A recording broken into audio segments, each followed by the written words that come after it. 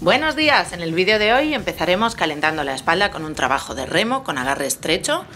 Llevaremos casi a estirar el codo pero sin llegar a estirarlo del todo y nos llevaremos los codos hacia atrás a la vez que intentamos juntar las escápulas en el centro de la espalda en el momento de la tracción.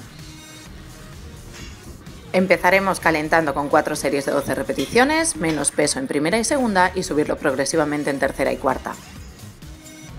Localizaremos la polea alta del gimnasio, si es regulable la situaremos en la posición más alta posible y cogeremos un agarre de mano para trabajar de forma unilateral. Lleva tu cuerpo ligeramente hacia adelante para simular el ejercicio del remo en el agua. Verás que tienes opciones con el codo un poco más abierto y opciones con el codo un poco más cerrado para marcar intensidades distintas. En este próximo ejercicio vamos a localizar un banco de trabajo, nos haremos con él y bajaremos la polea regulable a una altura aproximada de un palmo por encima del banco que has cogido. Para hacer esta simulación lo más correcta posible, intentaremos a través de la fuerza de nuestras lumbares simular la posición de la remada levantando un poquito el pecho. En el punto más largo de esa remada, tu mano estará justo delante de tu frente y pasarás el brazo a lo largo de todo tu cuerpo por debajo tuyo, simulando realmente la remada en el agua.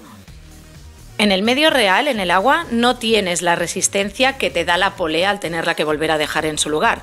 Por tanto, vigila mucho al volver con el recorrido de forma lenta y progresiva.